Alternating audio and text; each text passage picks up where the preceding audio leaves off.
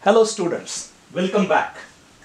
Um, now we are going to understand a process which is uh, which is called as quasi-static process. Quasi is almost, static is stationary. You know this, right?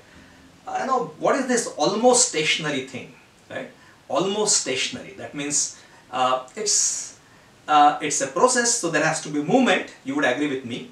Uh, if there is a physical object associated with, there has to be movement. The properties has to be has to change, uh, but then it has to be almost static. Let's understand what we mean by that. Uh, imagine that uh, there is a so you want um, okay I'll just what I'm doing is I'm turning the regular piston upside down uh, so I am saying that this is a cylinder in which so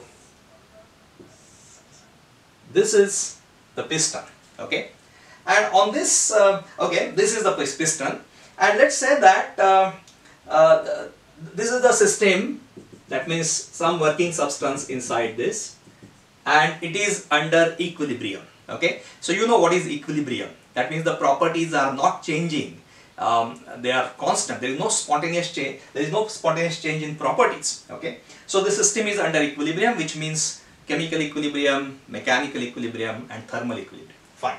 So it has got so uh, a single value of pressure a single value of temperature volume etc is representing this system. Uh, please uh, go back to my previous video if you are not clear. Okay now I want this is a piston okay? So I want to mm, now this is under equilibrium. Uh, so uh, the the piston has got certain weight right? So the weight is certainly acting downwards. So let's say this is the weight is acting downwards. I say it is W. W is the weight.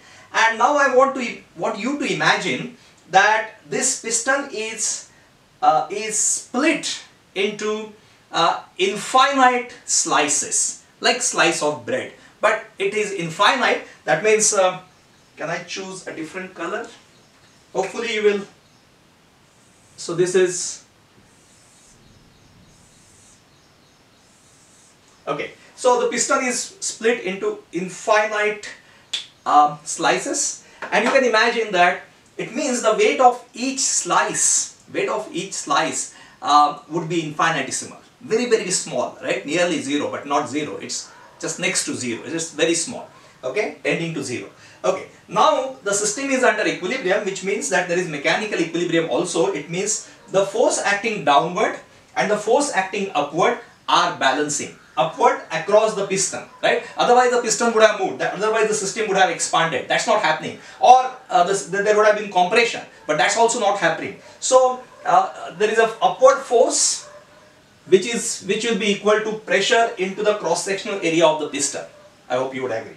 So imagine now that you remove one slice from this piston. So what is going to happen? When you remove one slice from this piston um, there is going to be imbal imbalance force upward.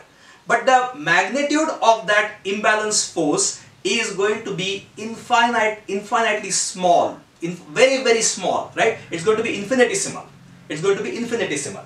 Because we have split the piston into infinite slices. Okay? So wait. So you're so what happens is because of this there is going to be now some unbalanced force acting upward but its value will be extremely small nearly zero just next to zero. Okay? And the piston will be pushed up. Okay? So let's before we do that let's say that we have I hope this is you can see this. Uh, we are plotting this right? We are plotting this movement and um, these are two properties. Let's say for the sake of convenience we could have chosen other properties but let's say it's pressure and volume okay? So we have the uh, it has got so volume is increasing and um, if the expansion takes place. Let's say initial equilibrium state is this is equilibrium state. Now what is going to happen?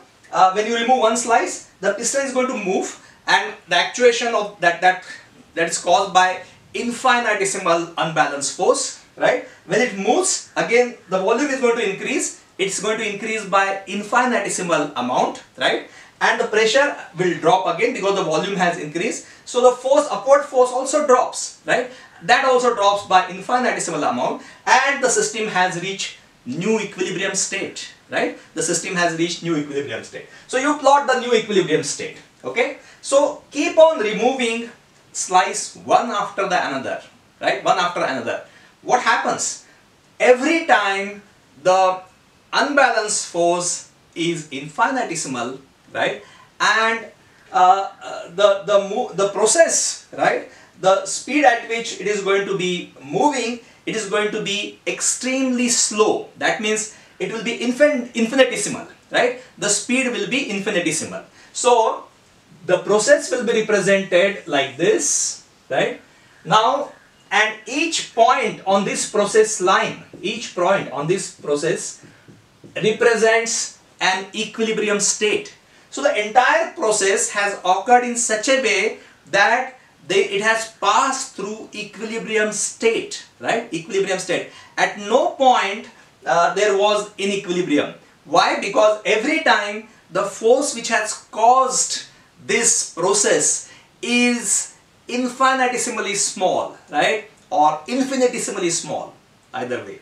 Infinitesimally small.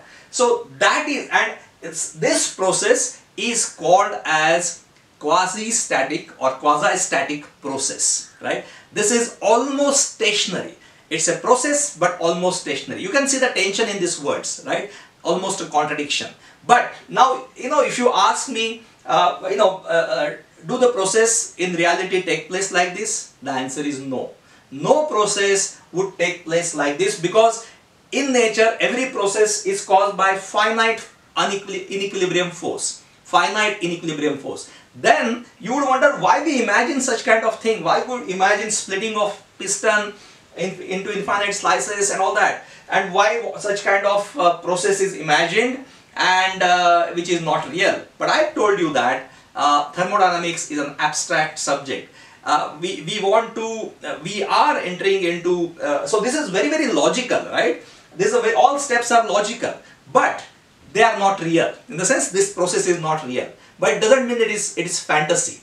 Fantasy means just, you know, a fantasy means you can, you, it's a free play of mind. You, it can, you don't follow any logic. Here we are logical, but we enter into the area which is, uh, which is not really real.